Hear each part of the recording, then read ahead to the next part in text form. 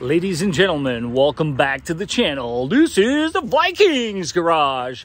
Today we got another episode of maintenance that you can do yourself at home. And uh, we're going to keep this one super simple. I'm going to keep these episodes really short, guys, so that it makes it easier for you guys to find it on the library every time you want to look at it. So today we're going to tackle the cabin air filter and the engine air filter. I know you must be saying to yourself, oh my God, what kind of video is this? There are people out there that don't know, and you know what?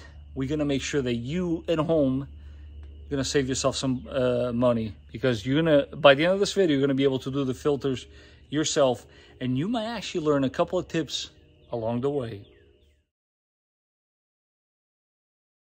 so with the hood open on your 4Runner what you want to do is you want to go to the left side of your engine and this is where you will find your engine air filter uh, trick with this guy nothing crazy you got four of these little tabs.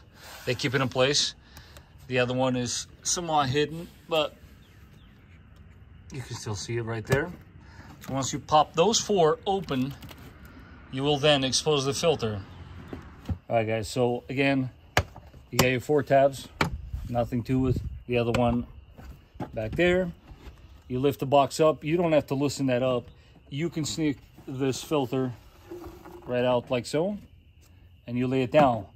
Now, you might ask, how do I know if this filter is dirty? Well, if you look at it, you see how it has a little bit of a color to it. But I'm going to show you a trick right now. If you smack this over here, you should see a little bit of dirt. Although, mind you, my filter is not that dirty. Again, let's show you guys a comparison. I can assure you it's the same filter. They just make them a little skinnier now. You guys see how it is different? Now, before you install the new filter in, uh, if you can see inside here, my uh, box is actually usually very clean, but you always have a little bit of uh, debris on the bottom, dusting. Sometimes you'll find all sorts of things that uh, will keep the uh, children up at night. How do you take care of that? Well, this is where your vacuum comes into play. You grab the vacuum, you turn it on, and you go for it. That's it. Look at this. No more little critters scaring the little children. You see? You catch all the little things. Once you're done with your vacuum, then you can grab your new filter just like before. Slide it this way, like so. You always want to make sure it's flush on all four corners. Okay. Once it is flush, you just lay it down. There's really nothing to this. You trust me, you can do this at home. We will definitely get to the more elaborate things, but you just change your engine air filter just like that.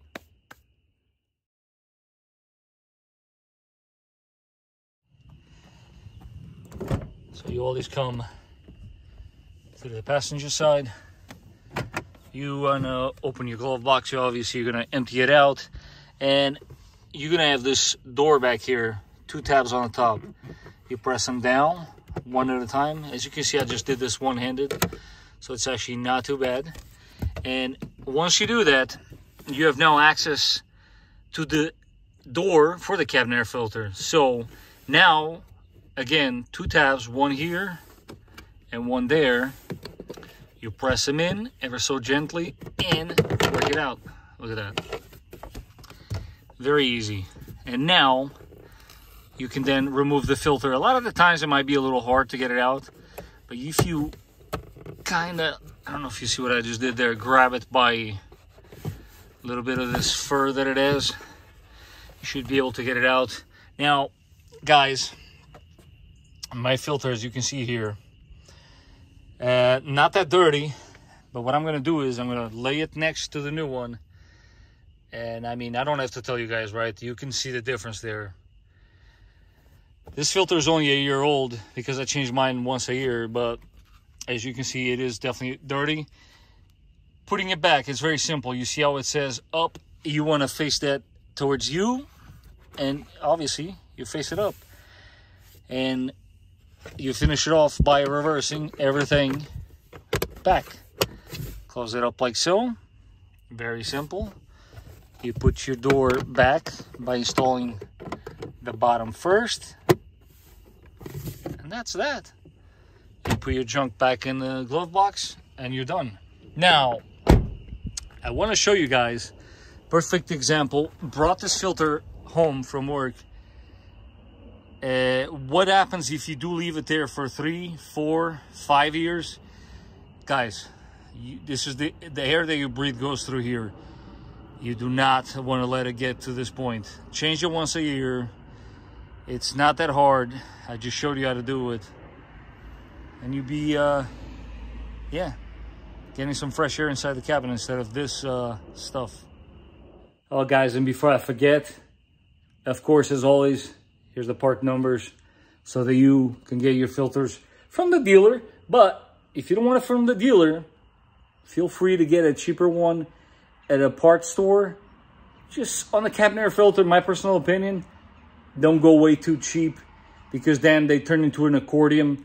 If I find an actual picture, I'll post it right over here because I didn't have one. But uh, don't go too cheap on the cabin air filter. Please do stay tuned as we're just getting started. I got a ton of more maintenance tips coming your way. Some uh, super easy, some a little more elaborate. I've had some people throw me some uh, suggestions. Don't you worry, I didn't forget about you. They are definitely coming. And uh, until next time, guys, I hope you enjoyed the video. Don't forget to show some love, and I will catch you on the next one.